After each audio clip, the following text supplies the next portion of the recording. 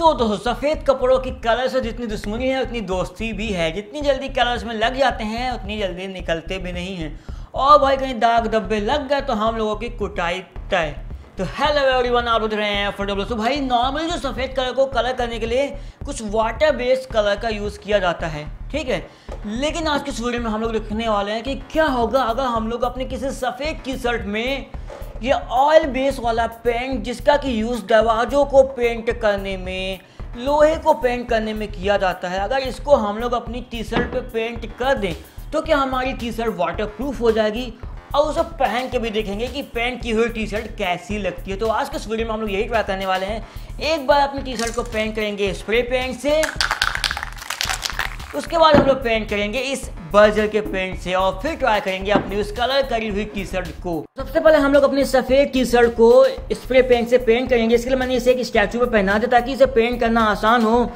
तो भाई सफ़ेद टी शर्ट के लिए एक लाइक बनता है आज। भाई बर्बाद हो जाएगी तो लाइक ज़रूर से करना।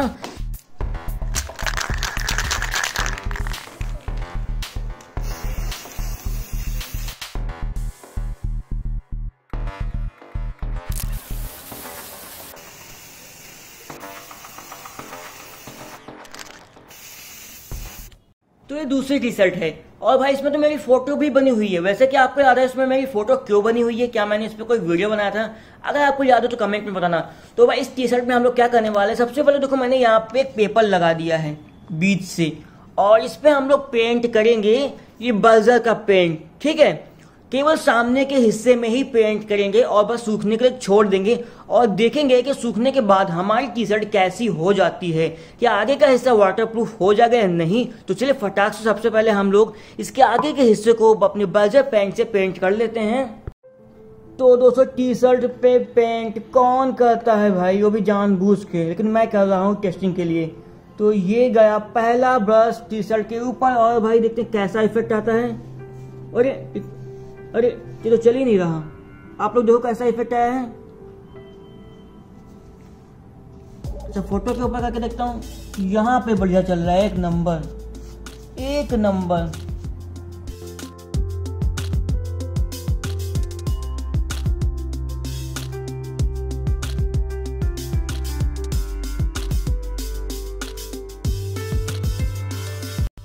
तो भाई फाइनली आगे का हिस्सा पेंट से पेंट हो गया है। पता नहीं सूखने के बाद ये टी शर्ट कैसी हो जाएगी। मुझे बिल्कुल भी आ गया नहीं है सूखने के बाद कैसे टी शर्ट हो जाएगी। और मैं आपको नीचे दिखाता हूँ पेपर पे काफ़ी पेंट आया हुआ है, ये देखो।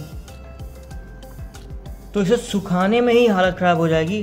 देखते हैं सूखने के बाद हमारी ये टी शर्ट कैसी लगती है। तो फाइनली यहाँ पे हमारी स्प्रे पेंट से पेंट करी गई टी शर्ट सूख गई है। तो इस पर हम लोग पानी वानी डाल के चेक करेंगे, पहन के देखेंगे और इसकी कपड़े की क्वालिटी देखेंगे अब कैसी हो गई है। और यहाँ पे जो हमने बर्जर का पेंट तो पेंट किया था, वो और टी शर्ट भी सूख गई है। इसको भी हम लोग ठीक तरीके से चेक करेंगे, पहन वहन के, पानी वानी डाल के, ठीक है?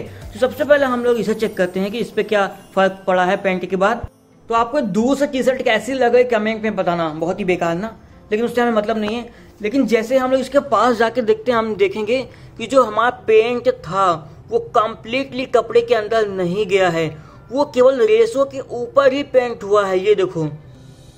अब आपको समझ में आ रहा होगा कि किस तरीके से स्प्रे पेंट इसके ऊपर पेंट हुआ है। केवल रेसों पर ही पेंट गया है, ये देखो। जिसकी वजह से जो टी शर्ट है यहाँ पे, ये खुरदुरी टाइप की हो गई है। एकदम खुरदुरी। अंदर एकदम मुलायम है, लेकिन बाहर एकदम खुरदुरी, कुरकुरी, जैसे कोई बिस्कुट हो। अब पानी डाल के देखते हैं इसके ऊपर। तो क्या ये पानी एब्जॉर्ब करेगी या नहीं? तो देखते हैं, तुरंत एब्जॉर्ब हो गया, तुरंत एब्जॉर्ब हो गया तो वाटर प्रूफ नहीं हुई हमारी टी शर्ट तो अब मैं उस स्प्रे पेंट से पेंट के रंगीन टी शर्ट को पहन के दिखाता हूँ, ठीक है? ऐसे मैं उतारता हूँ। ओह फाइनली ये देखो। तो ये है हमारी स्प्रे पेंट से पेंट करी गई टी शर्ट और अगर मैं इसे छू के देखूँ तो बड़ा ही खुलदुरी टी शर्ट है। लेकिन कैसी लगा ये कमेंट में बताओ। पीछे का तो सफ़ेद ही है। आगे से स्प्रे पेंट से पेंट करी गई है। बड़ी वियर्ड चीज़ है ना। लग रहा होली खेल के आया हूँ। पास से तो एकदम भद्दी लग रही है। दूर से लग रही, कैसी लग रही, कमेंट में बताना, ठीक है? अब दूसरी टी शर्ट चेक करते हैं। तो जब हमने ब्रश से पेंट किया था तो देखते हैं क्या टी शर्ट वाटर प्रूफ हुई है पेंट की वजह से?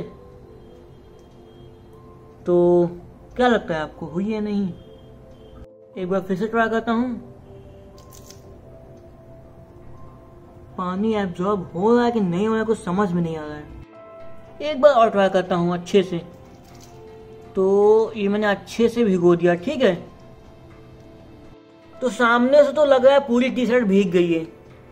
लेकिन ये वाटर प्रूफ हुई है या नहीं? ऐसा करते हैं, पीछे से देखते हैं कपड़े के, तब मालूम चल जाएगा।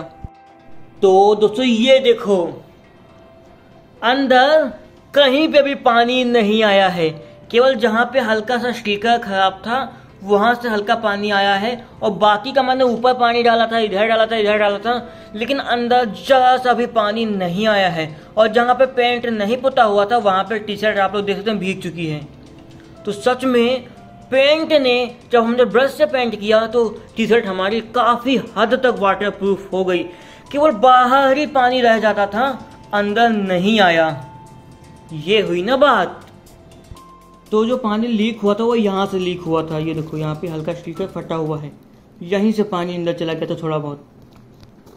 और दोस्तों इसे पहन के ऐसा लगा है मानो मैंने बोरी पहन ली हो। यहाँ पे बहुत मोटा मोटा फील आ रहा है।